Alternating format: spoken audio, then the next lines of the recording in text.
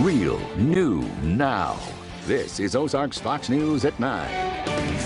Welcome to Ozarks Fox News at 9. I'm Jennifer Abreu. And I'm John Adams. We begin tonight with some of the top headlines of the day. These stories are real, new, now. U.S. national debt has hit a grim new milestone, passing 22 trillion, that's trillion with a T, dollars for the first time, and growing more than $30 billion in just the last 30 days. This following an increase in domestic and military spending and President Trump's signature tax overhaul, which costed $1.5 trillion all by itself. The Federal Emergency Management Agency Chief Brock Long announces his resignation. Under his two years of administration, FEMA responded to three major hurricanes, Harvey, Maria, and Irma. Long was sharply criticized for his recovery efforts to Maria in Puerto Rico. FEMA Deputy Administrator Peter Gaynor will become acting administrator now. The teacher strike in Denver, Colorado is entering its third day. The Denver Classroom Teachers Association and the Denver Public Schools School District are at odds over pay increases and bonuses for teachers in high poverty schools. This is the first strike in 25 years in that district. The walkout is affecting about 71,000 students. Well, new at 9, imagine waking up from a deep sleep and realizing a month has passed by. That's exactly what happened to a man after he was struck by a vehicle on I-44 near Lebanon last December. Tonight, Mitch Walker is sharing his story with our Jesse Inman. Jesse, Mitch was struck while trying to fix a flat tire on a semi-truck. Yeah, that's right. Mitch was put in a medically induced coma for about a month, but he's been out of it for a few weeks and he's recovering. Decided to share his story of that night with us. Now, the man who hit Walker was 60 year old Richard Sanders, and he kept going, but was eventually caught. And he also didn't have a license and may have been under the influence at the time. Now, that was the end of the road for Sanders, but Walker, he still has a journey of recovery ahead. I've visited a lot of people in this hospital, but this is definitely my first time having to be here for myself. It's been an extended stay for the 35-year-old mechanic, Mitch Walker, who was in a coma after a fateful call to change a semi-truck's tires on I-44. I was, you know, getting ready to crawl underneath the trailer to get a jack under there and get everything ready, and boom, I got hit. I had all my flashing lights going and all that, but sometimes people just don't pay attention. We've lost many, many officers and many highway workers and EMS personnel because of that distracted driver. Sergeant Jason Pace with the Missouri State Highway Patrol says the law is in place to prevent situations like walkers. Anytime you approach an emergency vehicle, whether it be uh, a police, EMS, wrecker operator, MoDOT, then first they first have to at least slow down, proceed through with caution, and then on divided roadways, if it's safe to do so, to change lanes. Unfortunately, that wasn't the case in Walker's hit and run, which he remembers pretty vividly in the moments after it happened. He called 911 himself. My pelvis was basically shattered. Never did lose consciousness. Uh, I was awake the whole time. I remember the ambulance getting there. Uh, and that's when I really started to figure out that I was hurt worse than I thought. He was flown by helicopter to Mercy Hospital, and Walker's brother, who is a Springfield police officer, met him at the helipad. He had been listening to all the radio traffic. And so at that point, he didn't expect me to be alive when we landed. Walker doesn't remember going into the doors of Mercy on December 19th, and he woke up to find that Christmas and New Year's had already passed, which he was hoping to spend with his wife, two boys, and his daughter. Christmas break was going to be our kind of family bonding time where we could all get together, and I slept through it, you know, so I was pretty disappointed about that. Walker is starting to regain some of his strength, but has a long way to go, and he's relying on his faith. Going to have to learn how to walk again, I'm sure.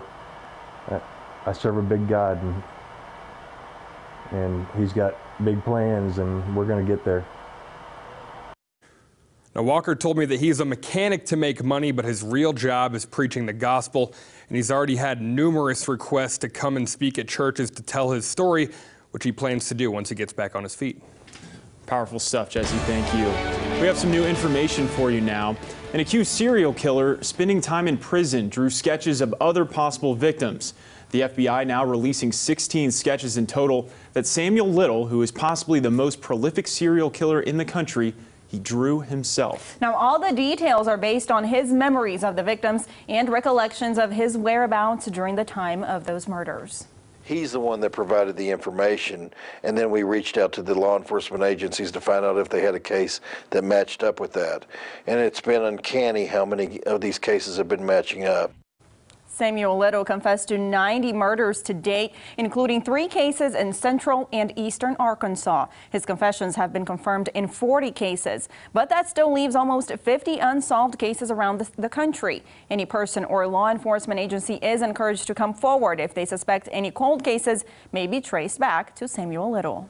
Well, back here lo locally, a couple linked to the death of a four-year-old in Republic, Missouri has been arrested in Oklahoma.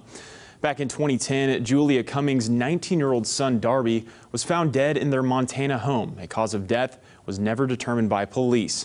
Not long after that, Cummings moved to Republic, where her four-year-old daughter Kiera would die a similar death, also unsolved by police. Cummings and her husband are now in custody, and the children's grandmother told us she hopes this arrest will finally lead to a discovery that the couple is guilty of murdering them. I've been doing this for nine years. I have been trying to get justice for them because I know they were abused. Both police departments call it a homicide. The only problem is once a medical examiner brands an autopsy with with indeterminate or undetermined, it's almost impossible to get that off of there. Republic Police tell us these arrests did bring a new interest in the case for the department and hope this may spark some memories and compel people with more information about the case to come forward. A 48-year-old mother of three was taken into custody by ICE agents after she reported to a St. Louis office for what she thought was a routine check-in. She came um, fleeing poverty and violence in Honduras. Um, and when she arrived to the United States, she uh, presented herself to a, a, Border Patrol agent and sought uh, asylum. Ilsa Guzman came to the U.S. in 1999 seeking asylum.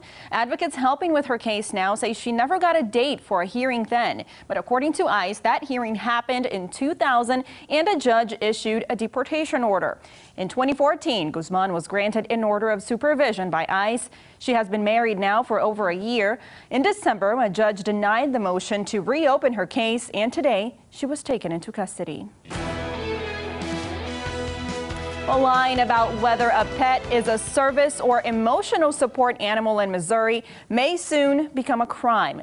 Two state lawmakers are pushing a bill making misrepresenting an animal as a service or assistance pet to get special treatment in housing a misdemeanor. Our Francis Lynn spoke with a dog trainer and a property owner about an increasing number of people trying to get their animals to live in properties that don't allow animals. Francis.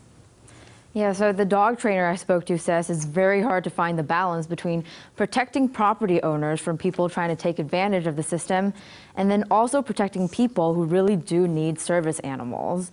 Emotional support animals can't go in public like service animals, but they can go into rental properties that normally don't allow dogs. The dog trainer I spoke to says the bill needs to target people who try to manipulate the system because property owners feel like they're in a tough spot. As a landlord, I feel like we've lost our rights to protect our property. Usually the dogs are the worst because they scratch on the doors, they scratch the carpet. Um, I also feel like it is a, a liability issue with us because if someone would get bit, you know, I feel like the liability is going to fall back on us. I think there does have to have some be some type of legislation that gets the fake people who are doing this um, uh, with dogs that aren't trained so, Francis, this bill has been introduced, but where is it now? So, the bill was heard in the committee on Monday, but no vote has been taken yet. Thanks, Francis. Well, we have a follow-up story that many Ozarks Fox viewers here in the area have been wanting to know about. You may remember last July, this McDonald's at the corner of Sunshine and Campbell in Springfield caught fire. The restaurant never reopened because of that extensive damage inside. But good news for those who used to eat there. A new McDonald's is coming soon. We talked to a spokeswoman who says the building will be completely demolished starting in April, and sometime this summer, a new store will open up in that same location. The building will have the latest bells and whistles with touchscreen kiosks and serve as an Uber Eats location.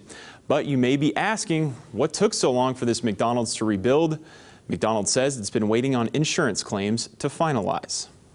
Happening this weekend, you may remember this man. This is Mason Lowe, who passed away last month after sustaining injuries from a bull riding competition in Denver. Well, now the Professional Bull Riders Association will be renaming an event in St. Louis this weekend as the Mason Lowe Memorial. There will be also a special bald eagle release in Lowe's honor. Lowe was from Exeter, Missouri. Moving on to weather now. Jamie, we were happy to see warm weather today but it's not lasting, is it? It is not going to last, but we get one more day of this. In fact, temperatures are probably going to be warmer than what we experienced today, and we hit 60 this afternoon in Springfield. Cold weather, though, to wrap up the week, and it looks like it's going to come with the chances for maybe an icy scenario for parts of the Ozarks. So look at that in your forecast after the break. You're watching Ozarks Fox News at